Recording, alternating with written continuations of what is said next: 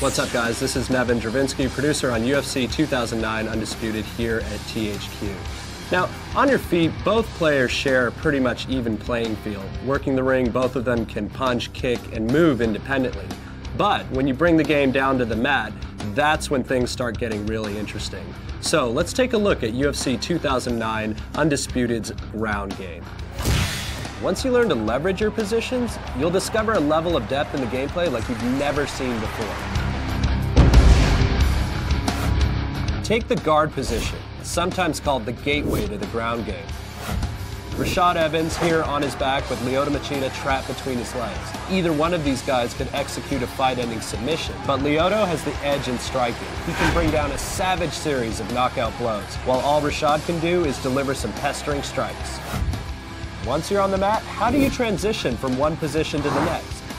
The answer is the Ultimate Fighting Control, an innovative and original control system. Operating the right stick, you'll take total command of the most complete and realistic ground grappling game ever. Transitions move your fighter from position to position.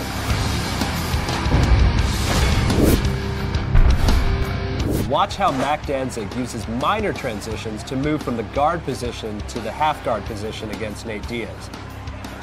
Mac's use of minor transitions is very effective here, as they're very difficult for Diaz to block. However, Mac's not completely safe though. Minor transitions are still vulnerable to reversal. Dan Henderson can quickly move from the guard position all the way to the much more dominant side control through the use of major transitions. That is, of course, unless Michael Bisping tries to prevent this with a block. But if Dan Henderson can avoid that block, his major transition will be a bitch for Bisping to reverse. No matter what transitions you use to get there, the ultimate supreme position in the ground game is the mount.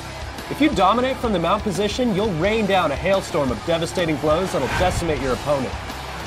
Some of the most spectacular finishes in UFC 2009 Undisputed get played out in the ground game. Go for an armbar, a triangle choke, or some good old-fashioned ground and pound, and it's all under your ultimate control. And don't worry, fighters in the disadvantaged position have access to the major and minor transitions as well, so don't think this is a one-man show.